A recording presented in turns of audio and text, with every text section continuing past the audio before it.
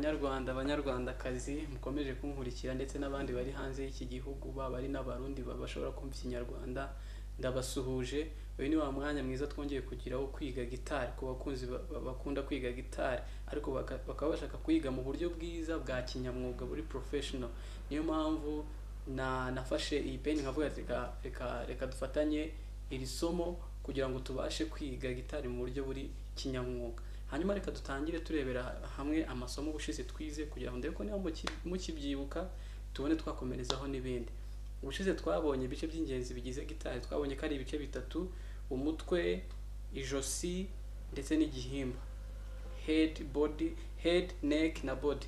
Mm, hanyuma dukurikizaho tureba n'amazina y'imirya uko imirya yitwa. Twabonye ko umurya wa mbere ari uyu nguyu witwa i. tubona ko umurya wa kabiri witwa b tubona ko uwa gatatu witwa g tubona ko uwa kane witwa d tubona ko uwa gatanu witwa a tubona ko uwa gatandatu witwa e. Ibyo ngibyo niba mukibyibuka mwasubira mu ikayi mukareba mwaba mutabyibuka ubwo sinzi ukundi turi bubigenze ariko biba ari ngombwa ko muba mubyibuka kugira ngo dukomeze twiga n'ibindi. Hanyuma uyu munsi rero tugiye kurebera hamwe amanota amanote cyangwa se amakordi niyo twifashisha turimo gucuranga gitari uyu munsi iyo tugiye kurebera hamwe turarebaho makeya ubutaha tuzagaruka tureba n'andi tugiye kureba amanote arindwi y'ingenzi dukenera cyane cyane muri muzika kugira ngo bidufashe mu- gucuranga so mbere yuko dutangira kwiga amanota ndabanza mbereke eh, nimero tujya kubanza dutange nimero ku kiganza cyacu cyangwa se ibiganza ari na byo twifashisha turimo gucuranga tugiye kubiha amazina n'intoki mm. Iyi ngiyi ni ikiganza cy'ibumoso iki ni ikiganza cy'iburyo. Hanyuma izi ntoki mureba ni eshanu eshanu hanyuma izi ibi ibi ngibi ni ibikumwe cyangwa se tambu niko turi tu- niko turi bubyite. Ushobora kubiha inyuguti ya ta. Hanyuma izi ntoki ebyiri ni rimwe. Turaziha nimero ya mbere izi ngizi turaziha nimero ya kabiri izi ngizi turaziha nimero ya gatatu uru nguru turaruha nimero ya kane. Ni ukuvuga ngo iyi ni rimwe kabiri gatatu kane. Ndakeka ibyo ngibyo byumvikanye. Eh, hanyuma muri ino minsi tu- tukirimo gutangira muri hangana turakoresha iki kiganza cy'ibumoso cyane cyane kuruta iki cy'iburyo. Iki cy'iburyo tuzajya tukigeraho ariko mureke twibande kuri iki ngiki. Ni ukuvuga twabonye ko iyi ngiyi ari urutoki rwa mbere urwa kabiri urwa gatatu urwa kane. Eh, ibyo ngibyo niba ubyumvise twakomeza n'ibindi. Hanyuma mu bice by'in- by'ingenzi twabonye na byo bigize gitari twabonye utu tuntu twitwa amafureti cyangwa se amakazi. Hanyuma mu rurimi rw'ikinyarwanda dushobora kuza kubyita mm, utuzu. Kugira ngo ninkubwira ngo ujya mu kazu ka kangahe uze kumenya akazu ujyamo akariko. Mu buryo bwo gufata amanota ni byo biri butubangukire kugira ngo tubashe kwiga byihuse. Hanyuma tugiye guhera ku nota ya mbere inota twita si cyangwa se do. Niyo mbere tugiye guheraho turebe ukuntu ifatwa mm, tekinike nziza yo kuyifata mm. hanyuma do ukuntu ifatwa tugiye gutangira. Ndahera ku rutoki rwa mbere arirwo rw'uru nguru ndaruzana ndufatisha hano ku murya wa kabiri muri fret ya mbere. Ahangaha hanyuma urutoki rwa kabiri arirwo rw'uru nguru rurafata umurya wa kane muri fret ya kabiri. Hanyuma urutoki rwa gatatu arirwo rw'uru nguru rurafata umurya wa gatanu muri fret ya gatatu. Ya do yacu ubu ngubu irabaye.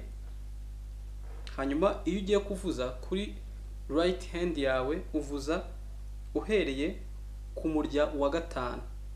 Ukavuza umanura. Ubu note yacu turayifite ya do. Nongere nsubiremo urutoki rwa mbere rurafata muri fret ya mbere ku murya wa kabiri urutoki rwa kabiri rurafata umurya wa kane muri fret ya kabiri hanyuma urutoki rwa gatatu rurafata umurya wa gatanu muri fret ya gatatu. Hanyuma ninjya kuvuza ndahera ku murya wa gatanu. Do yacu tukaba turayifite. Hanyuma reka dukomeze tureba na note ya re. Note ya re cyangwa se di. Muzaba mwihangana nzaba nkoresha izo terime zindi mutamenyereye hari abamenyereye do re mi fa do ariko nzaba nzaba nkoresha ngewe c d e f g a b. Nizo nyuguti nzajya nkoresha kuko nizo music alphabet dukunze gukoresha. Hanyuma dukurikizeho iyo ngiyo ya D ariyo cyangwa se re. Ukuntu yo ifatwa urutoki rwa mbere rurafata umurya wa gatatu muri fret ya kabiri. Urutoki rwa kabiri rurafata umurya wa mbere muri fret ya kabiri. Biri muri fret imwe n'ubundi cyangwa se akazu. Nivuga fret mwumva akazu. Hanyuma urutoki rwa gatatu rurafata umurya wa kabiri muri fret ya gatatu. Hanyuma nuko nguko kure yacu iraba imeze cyangwa se D. Hanyuma kuri right hand muribuka yuko nababwiye yuko nababwiye yuko uh, uyu murya wa kane witwa D. ubwawo iyo uri open cyangwa se ufunguye cyangwa se utawuvugijeho witwa D. Niyo mpamvu mu kujya kuvuza note yanjye ya D nawo ndawushyiramo. Nubwo ntawufashe. Ni ukuvuga ngo D turahera ku murya wa kane tuvuze. Note yacu ya D tukaba turayibonye. Subiremo gato tubonye yuko urutoki rwa mbere ruri ku murya wa gatatu hanyuma muri fret ya kabiri urutoki rwa mbere ruri muri fret ya kabiri n'ubundi ku murya wa mbere urutoki rwa gatatu ruri muri fret ya gatatu ku murya wa wa kabiri. Hanyuma ninjya kuvuza kuri right hand ndahera ku murya wa kane. Yacu tukaba turayibonye. Hanyuma dukomeze na note ya I cyangwa se mi. Note ya mi na yo ni note nziza cyane iryohera amatwi isona neza cyane. Reka na yo turebe ukuntu rero bayifata. Urutoki ndahera ku rutoki rwa rwa mbere n'ubundi. Rurafata umurya wa gatatu muri fret ya mbere. Hanyuma dukurikizeho urutoki rwa kabiri arirwo rw'uru rurafata umurya wa gatanu muri fret ya kabiri. Hanyuma urutoki rwa gatatu rurafata n'ubundi umurya wa kane muri fret ya kabiri n'ubundi. Hanyuma muribuka ko nababwiye yuko uyu murya uyu wa gatandatu witwa i cyangwa se mi ni ukuvuga ngo nawo ndawuvuza nimba mfashe ino note ya mi nubwo ntawufashe ndawuvuza hanyuma mvuze imirya yose manuye. Ni note ya mi hanyuma bishobora kukugora ariko ni nugerageza ukareba n'ahantu igikumwe kiri na byo bizajya bigufasha. Ujye ucunga n'igikumwe urebe ahantu kiri pozisiyo yacyo bizajya bigufasha cyane. Reka nsubiremo kuri note ya mi tubonye ko urutoki rwa mbere ruri ku murya wa gatatu muri fret ya mbere.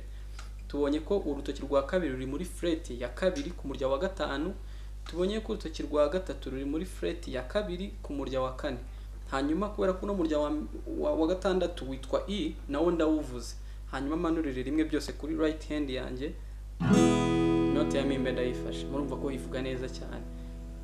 Hanyuma ku bantu bagitangira ushobora kubifata ntibivuge neza cyane ukikanga yuko wenda byakunaniye. Ariko niko bwa mbere bigenda ntabwo wabivuza ngo bite bivuga gutya. Ariko bwa mbere cyokora niwumva ubivugije bikavuga gutya ari bwo bwa mbere. Uraba ugitoye kabisa. Ariko ubundi ntabwo bikunze guhita biza. Hazamo n'ikintu cya experience cyo kugenda umenyera amanota. Ariko biragenda biza bizagenda biza bizagenda biza. Courage courage hanyuma reka turebe note ikurikiyeho ya fa note ya fa ngiye kubereka uburyo bwiza bwo kuyifata uretse ko ni uko tuzakomeza tuzareba n'ubundi buryo bundi bwo kuyifata Ah, turahera ku rutoki rwa mbere. Urutoki rwa mbere ura- uraza ururambike hano use n'uruberamisha nk'uku nguku mbikoze. Nk'uku nguku mbikoze mm, uraruberemesha ku mirya ibiri ibanza. Mm. Urutoki rwa mbere rurafata muri fret ya mbere cyangwa se mu- kazu ka mbere ku mirya ya mbere ibanza. Hanyuma urutoki rwa kabiri rurafata umurya wa gatatu muri fret ya kabiri.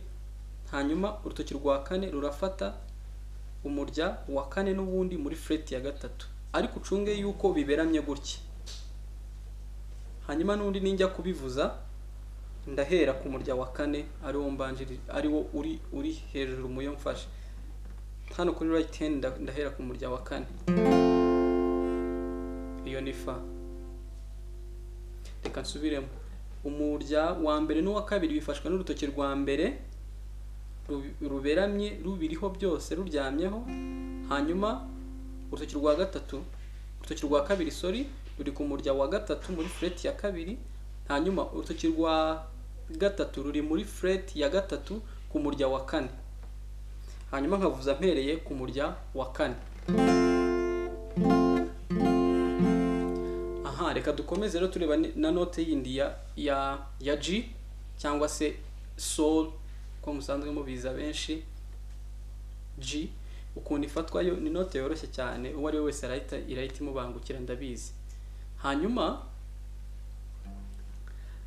G ukuntu ifatwa dushobora kuyifata mu buryo bubiri tubishatse. Ndahera ku murya ndahera ku rutoki rwa mbere ruraza rufate umurya wa gatanu muri fret ya kabiri. Hanyuma urutoki rwa kabiri ruraza rufate umurya wa gatandatu muri fret ya gatatu. Hanyuma urutoki rwa gatatu ruraza rufate umurya wa mbere muri fret ya gatatu n'ubundi. Sinzi niba murimo kubireba neza. Hanyuma ndavuza imirya yose n'ubundi uko ari itandatu. Reka nsubiremo note ya G iroroshye cyane. Urutoki rwa rwa mbere. Rurafata hano muri fret ya kabiri ku murya wa gatanu cyangwa se akazu ka kabiri ku murya wa gatanu. Hanyuma urutoki rwa rwa kabiri rurafata mu kazu ka gatatu ku murya wa gatandatu. Hanyuma urutoki uru nguru rwa gatatu rurafata umurya wa mbere. Rurafata umurya wa mbere muri fret ya gatatu n'ubundi hanyuma ndabivuza byose.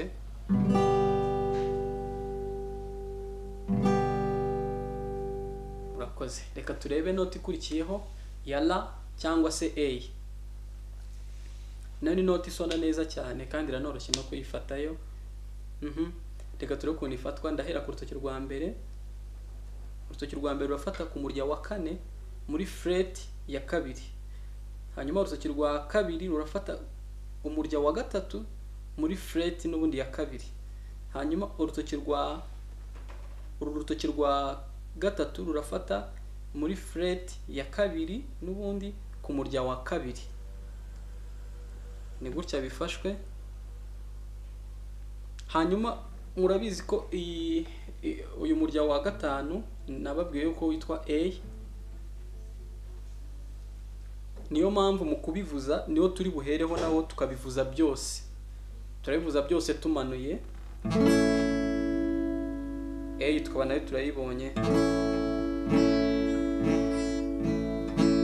Hanyuma nkwibutse ko ugomba kureba iki gikumwe ukuntu ki- ki- kimeze pozisiyo yacyo.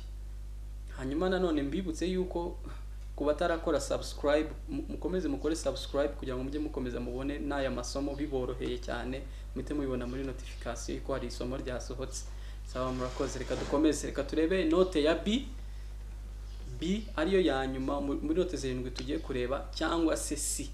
Niko ba- bakunze ku- dore mi fa la C iyo C niyo tugiye kureba cyangwa se B. Eh, turebe uburyo ifatwa. Hanyuma iyo turahera kuri uru rutoki rwa rwa mbere rurafata muri fret ya kabiri ku murya wa gatanu. Dukurikizeho. Ushobora ku- ushobora kuyifata gutya cyangwa se ndabereka uburyo bubiri turi buyifatemo ibiri bukorohera aba ari byo uzajya ukora. Urutoki rwa kabiri arirwo twari dukurikizeho rurafata muri fret ya kane ku murya wa kane n'ubundi. Hanyuma uru rutoki rwa gatatu rurafata muri fret ya ya kane n'ubundi ku murya wa gatatu. Hanyuma urutoki rwa kane ariko gahera karafata ku murya wa kabiri muri fret ya kane n'ubundi. Urabona ko izi ntoki zose ziri muri fret imwe ya kane. Mm. hanyuma tugashyiraho na rw- na rwa rutoki rwa mbere ruri muri fret ya kabiri ku murya wa gatanu. Hanyuma tukabivuza.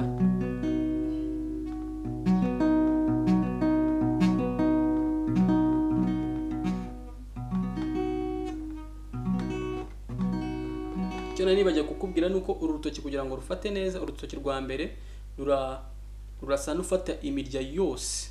Ururambike ku mirya yose n'uwa mbere urimo. Kugira ngo nubivuza n'umurya wa mbere uze kuzamo. Cyangwa se ubundi buryo kugira ngo bikorohere. Ushobora gufata uno murya wa gatanu muri fureti ya kabiri ukoresheje urutoki rwa mbere ugafata n'uru rutoki rwa gatatu. Ukarufatisha ino mirya yose usa n'urambitseho usa n'uyirambitseho uhereye ku murya wa kane uwa kane uwa gatatu n'uwa kabiri urutoki rukaba ari rwo ru- ru- ru- ruzifata. Hanyuma mu kuvuza wirinda kuvuza umurya wa mbere. N'uwa gatandatu birumvikana ntabwo urimo. Turavuza duhereye ku murya wa gatanu tugeze ku wa kabiri.